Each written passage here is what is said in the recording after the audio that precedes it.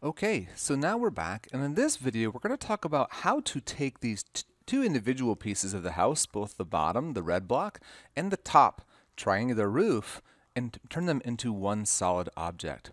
And this step is actually quite simple. So once again, all we need to do is we want to select the things we want to work with, or instead of selecting them with the draw with the, with the drawn out area, we can instead click on one.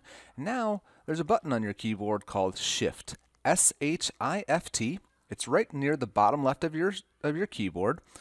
Click on that and hold it with one finger and click on the other object. Notice that when I, if I move the screen, if I click off, I click just the bottom one, you can see the little blue outline around it. Hold that shift button, click on the green one, and now it's got the outline as well.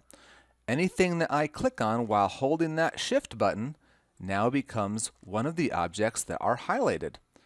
If, for example, if I move them, notice the things that I didn't click stay still, only the things that I selected have now moved.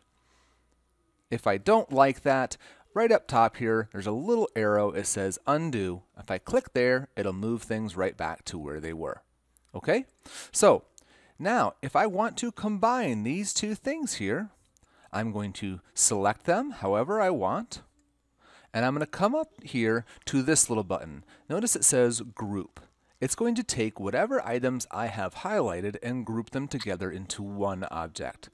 So let's click on that and notice that it is now no longer two individual pieces. It is one solid house. As we grow and expand our skills and get more and more um, experience with this software, we're going to find lots of opportunities where combining blocks or different pieces together into one becomes very, very helpful. Okay, so very quick lesson here. All I want you to do is select two different things, click on group, and see what you get. Notice that the first item you click on will determine the color. If I click on the red one first and then the green one, it will be red.